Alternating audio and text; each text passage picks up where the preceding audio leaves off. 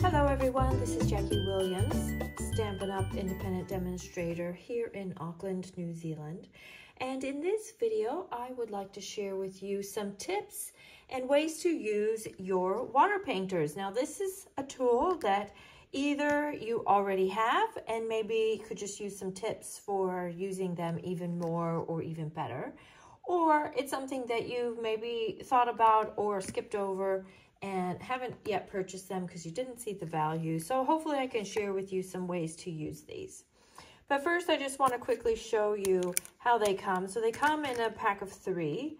I don't, they don't come purple. This one's just dyed purple for whatever reason. And you've got a very fine water brush, a medium one, and then a very wide one with the lids to match. Now the barrels are empty, and so these unscrew and then you can fill the barrel with typically is with water but you can of course put other mediums in there too depending on the technique that you are doing. I just like to keep the lids on to protect those bristles.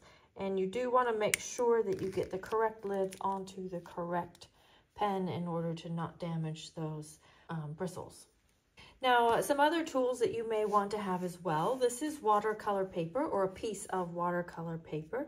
This is 100% cotton, so you can use your water brushes on them and get lots of water on them and they will not fall apart. And then you may want some black embossing powder and this just um, when you are sometimes using water techniques, it's nice to have your image embossed because it gives it just that tiny little wall on the edges, which helps contain the water a bit. As an option though, if, if you don't want to emboss, it doesn't have to be black even, it can be any of the colors of embossing powder. You will want to have a waterproof ink. And the only two waterproof inks that we have at the moment are StazOn and we have the jet black and the saddle brown color. So let's get started with our techniques. I'm going to start with that watercolor paper. And for this sample, I'm going to use the Winterly Treetops, and this is a brand new one, just come out uh, first few days of September in the September through December mini catalog. And the first technique I want to show you is doing a watercolor wash in the background. So I want to use Pool Party for my, for my background. Now, one way you can do it is take the ink refill and I apologize, I didn't realize how dirty this looked until I saw it through the camera is uh, fill a little dish with some water and drop some ink in there, stir it up, and then you have a nice smooth wash. Another way you could do the same sort of thing is to actually put some water into your the barrel of your painter and then drop some drops of color right into the barrel. Give it a shake and then you can just paint on your wash. Now this is particularly nice if there's a color that you use quite often or if you are making perhaps quite a few of a card. Say you're making sets of cards to give as gifts or Christmas cards or um, a wedding invitation or something like that. Then it's just nice and easy. It's ready to go and you can just paint that color straight on. You could also have the color in here and then still pick up other color and uh, get kind of a two-toned look there as well. I'm just going to leave this one clean for the moment. Okay, then another way you can use your water painter, I've got one over here, is if you want to tear your paper and you are someone who's not that confident with tearing or always concerned you're going to get it wrong, I have a few of those who come to my classes. You can use your water painter to squeeze some water and just draw where you want to tear. You might want to draw it several times. And this works not only with watercolor paper, but with any paper. And then when you tear, it should fairly easily follow that line because that area has been weakened. Then once this is dry, a third way that you can use your water painter is actually to flick on some color if you like that look. So I'm just gonna put some scrap paper underneath me and I'm just gonna pick up some of this pecan pie ink here and I've gotten my water painter quite wet and I've got ink right on the end of the brush. And then if I just tap it down here, probably got a little bit too uh, generous there. But you get the idea. You can just flick on some color and it comes out very easily and quickly this way. So here is my finished project with that technique. I have just stamped the birds in black StazOn and watercolored those in as well and uh, then just finished off the card with some of the petunia pop paper and the winterly treetops paper and you can see I've got that nice blue watercolor wash in the background to give it some grounding. Now I have a few more tips to share. Now let's make another project. So these papers are from another set that's coming out of papers called Snowy Scene. And I'm going to put those down either side of my card front. Okay, now I'm going to set those aside. Now, on this piece of white, I'm going to use Pool Party again. I didn't realize that they were the same background colors till just now. But this time I'm going to just blend that color on like this because I have basic white here. And the basic white really just doesn't accept the water all that well. And the watercolor paper was too yellow to go against the Snowy Scenes paper, if that makes sense. So I needed to use white to get it to all match. Okay, now I am using the brand new More Than Autumn stamp and die bundle. And this is just a cute one with, with various little treat images and lots of fun words. And I actually like that the dies um, have these words as well. And these little ones I'll use here in a minute. It's always helpful to have word dies. So I'm going to use this time Memento Black because I'm not going to watercolor on this. And I'm just going to stamp this calls for. And then from there, I'm going to wet down the middle of my Calypso coral paper again. And we'll tear that And you could even wet those edges a second time. This just weakens the paper. And then when I go to curl those up, it's just a little bit easier to curl when it's wet. Plus, if it's wet and then, it, you know, and then when it dries, it will really hold this shape quite well. And then I'll put these on either side.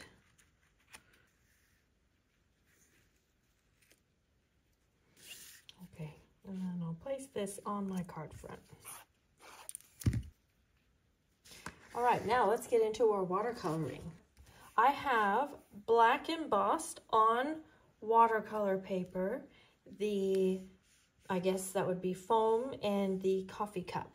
So let's bring over my colors again. The foam, I'm just going to paint in basic beige.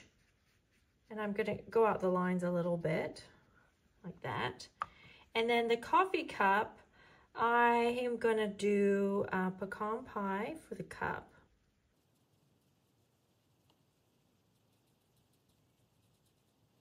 I'll go a little heavier on one side than the other. When you are watercoloring, if you have two colors that are right next to each other, you want to make sure color one is dry before you do color two, otherwise they will bleed together. I do have that little tiny heat embossing wall to separate the colors, but I'm not going to risk it anyway. And I'm just going to give that a quick dry. And I'm going to push the color to the left so that darker color stays on that side. Okay, now I'll get some petal pink and just lightly color in that label. And then this is Calypso Coral here, and I'm just gonna place that on the one side. And I'll just let it naturally bleed out. And however it ends up is how it will be. Same thing, I'll put a little more pecan pie on the one side, and then I'll just let that dry. And I might put a little more basic beige on here on one side. And then I would just let that dry naturally and let the colors blend how they're going to blend. And then I would take the dies once they're dry and cut those out. Now I've prepared these earlier. I'm just gonna add a little adhesive there and I'm gonna add some strings. So this is the dotted burlap trim, one of my personal favorites. This is from the Latte Suite. Now I'll just twirl that around into a few uh, circles like this and adhere that to the adhesive. And then the cup and the foam will go over top.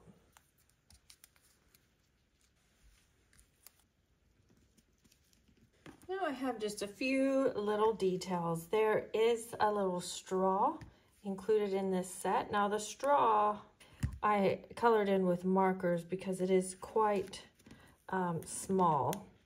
And then there is a cute little heart in the die set. And then this is probably my favorite thing. These little words that says coffee and then there's one that says latte. I'm not even a coffee drinker myself, but I still think they're cute. So I've put the adhesive um, sheet on the back when I die cut it. Oops so I can just peel that off and stick that down. And then it says, this calls for coffee.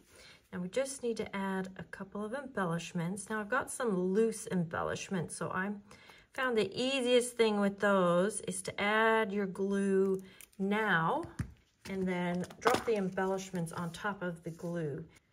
So I'm using these great champagne iridescent dots, but honestly, they just look like rocks to me, and I think they are fabulous. They are just the right color for this project.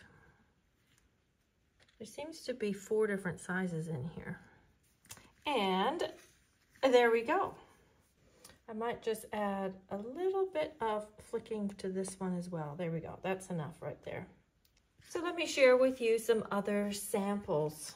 So we've learned about coloring in, creating a watercolor wash background, uh, using your water painters to tear and also kind of rough up the edge and also flicking some color onto your projects. So here's some other ones that I've made. This is the first version of this card that I made, this time using the A Little Latte papers themselves and doing it in a different colorway. And then this one is using the Boho Beach Kit image.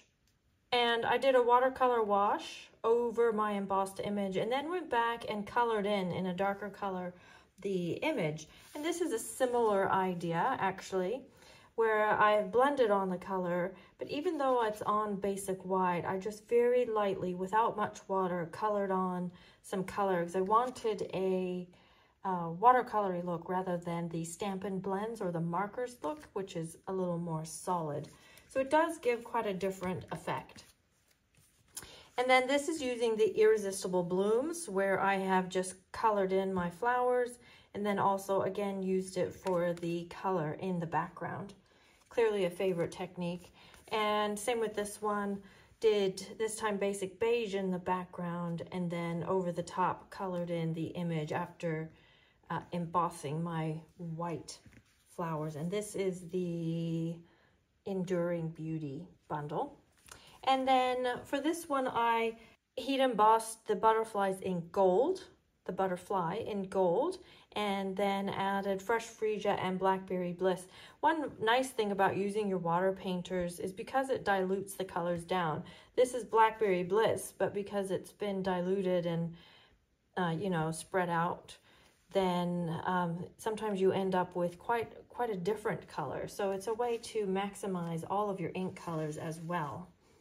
There you go. Hopefully that inspires you to pull out your water painters and use some of these techniques on your next project. If you have any other suggestions on how to use them, please leave them in the comments below. Or if you have any questions on anything, I'm always happy to answer questions. Feel free to share this video with your friends. This is Jacque Williams, and I'll see you next video. Bye-bye.